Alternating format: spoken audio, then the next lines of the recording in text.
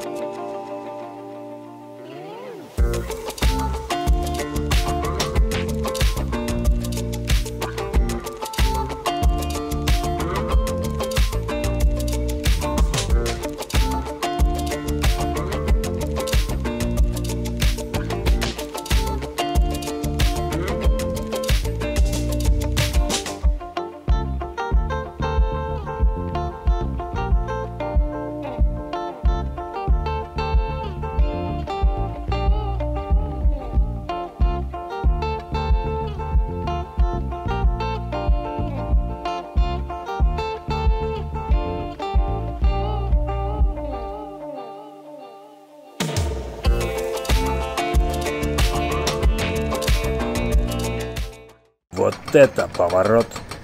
Дорога закрыта. Вероятно, был камнепад. Приехала техника для расчистки этого участка. Хоть мы и закладывали время с запасом из-за небольшой скорости движения по грунтовой дороге, а пройти на сегодня намечено ни много ни мало 350 километров до Владикавказа. И это еще без учета остановок в красивых местах. Мы расстроились. Уж очень не хотелось разворачиваться.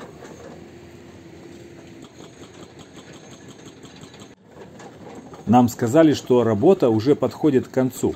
Через 40 минут мы поехали дальше.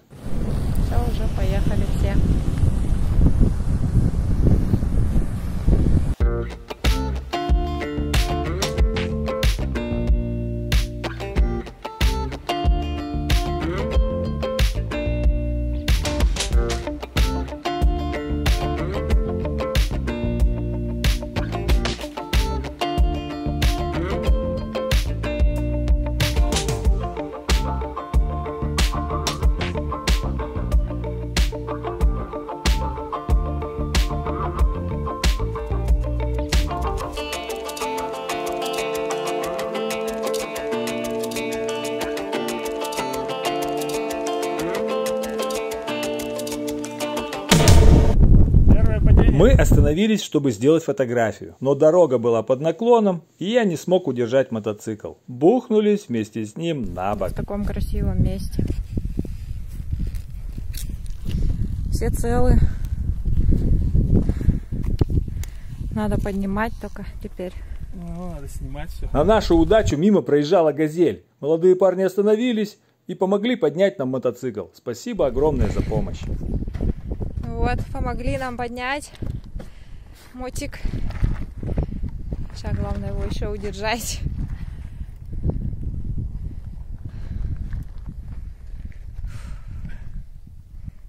Механизмы цели, мотоцикла цели. Вот только тут небольшая вмятина на кофре. Показывает было зеркало. Ну, это нормально. Канистра целая. Листа целая, Ну ладно. Ну вот. Кофта порвалась, но сам целый. Мотозащита «Черепаха» отработала на 5 с плюсом, только испачкались в пыли. Мы отряхнулись, передохнули и поехали дальше. Не пренебрегайте мотоэкипировкой.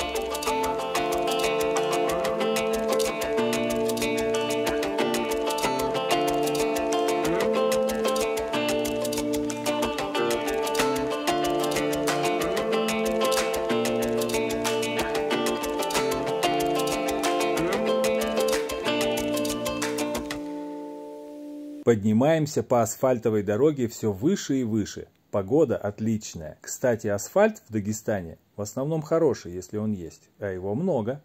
Заехали на перевал возле села Ботлих. Красотища. Высота 1800 метров. Еще останавливались на КПП, на перевале Харами, на границе с Чечней. Переписали документы, поговорили о путешествии. Все очень позитивно. Набрали на КПП питьевой воды. Спасибо ребятам.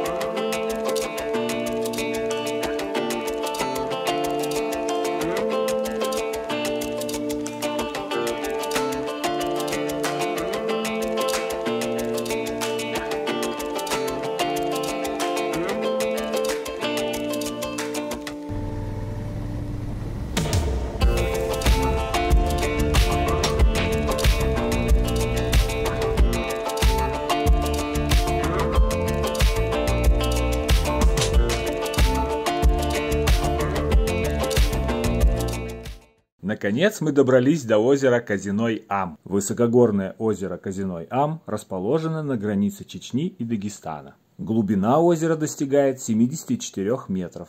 Протяженность с севера на юг 2 километра, а с запада на восток 2,7 километров. Казиной Ам – самое большое по площади озеро Чечни и Большого Кавказа. Летом температура на поверхности не поднимается выше 17-18 градусов. Купаться в озере со стороны Чечни запрещено, но можно покататься на лодке. Пляжный отдых на, на озере Казиной-Ам. Выглядит вот так.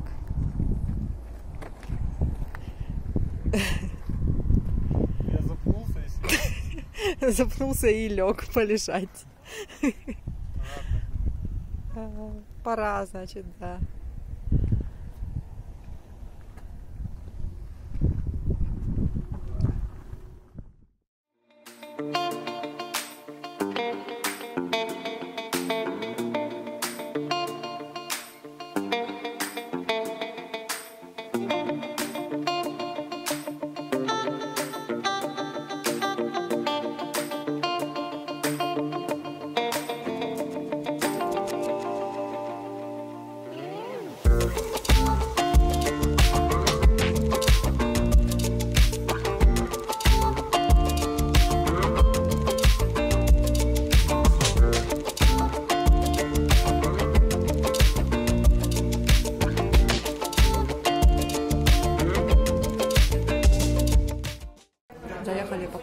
Кафе возле озера.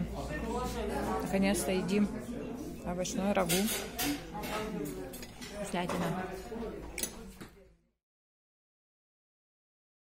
Домашняя атмосфера, разнообразие блюд и все очень вкусно.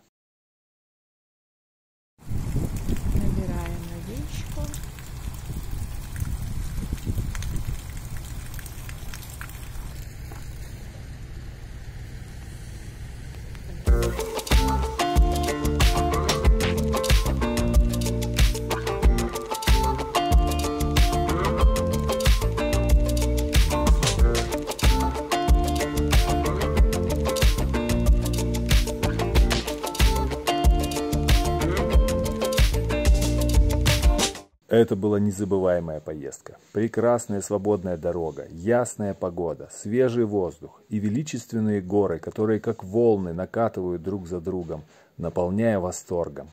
По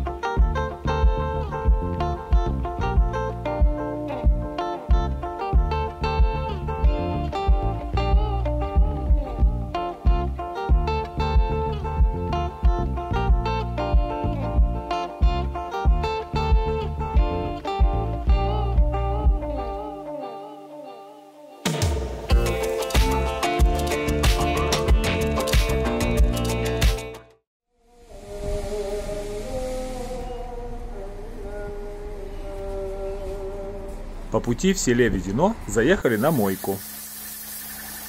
В прошлый раз мы проезжали через Грозный и заходили в мечеть сердца Чечни.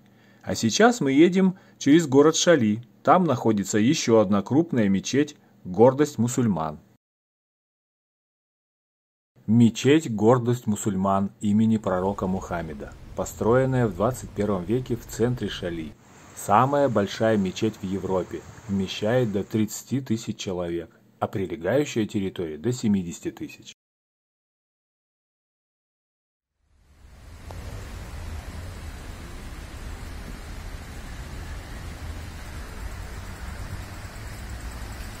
Мечеть – гордость мусульман. Не объять ее взором, только с дрона, наверное, можно объять. Так по частям, кусочками снимая. Очень красивый парк, розы. Красота. На площади в 5 гектаров устроена парковая зона с 12 фонтанами. Здесь высажено около 2000 деревьев и множество розовых кустов. Открытие состоялось 23 августа 2019 года. Здание имеет купол высотой 43 метра и минареты высотой 63 метра. Оно покрыто белоснежным мрамором с греческого острова Тасос. Внутрь мечети мы не заходили, так как нам хотелось засветло доехать до Владикавказа. Вот мы и во Владикавказе. Гуляем по вечернему городу, по набережной реки Терек. Во Владикавказе мы уже были и остановились в проверенном месте. Очень уютный хостел.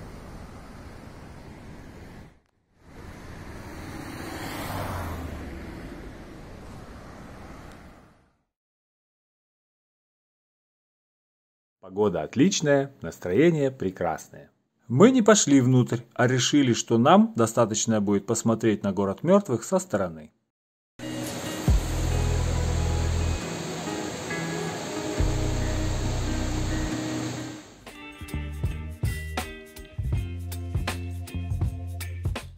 Ночь грохотало жестко, жутко. Баба, баба, я думаю, сейчас нас смоет. Ну вот, с нами уже две собаки. Так, глядишь, к концу похода 10 собак соберем.